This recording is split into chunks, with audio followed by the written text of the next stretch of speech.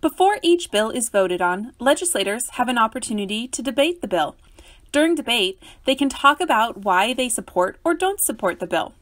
In the Senate, the President of the Senate oversees the debate and calls on legislators who would like to speak. Substitute Senate Bill 6561 on third reading, final passage. Remarks. Senator Elias.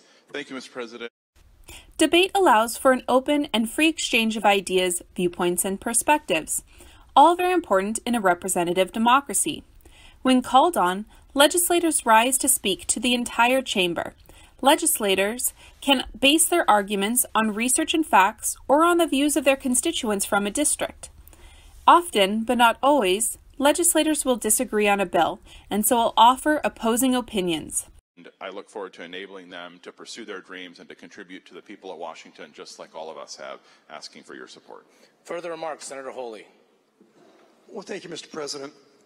Prime sponsor is a friend, and, and, and, we've worked very well on issues so far. This is one of those things that, that we're going to have to agree to disagree.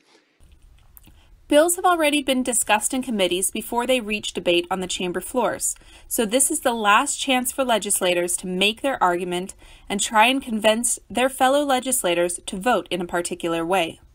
So I'm going to recommend a no vote. Question for the Senate is final passage. Second substitute Senate Bill 6561. The Secretary will call the roll. Uh, Senator O'Ban, did you have remarks? I, I did. think, you, Mr. President. I, am going to support this. Uh... Debate can last a few minutes or take several hours, but it is a necessary and critical component of any deliberative process to ensure that all viewpoints and perspectives are heard.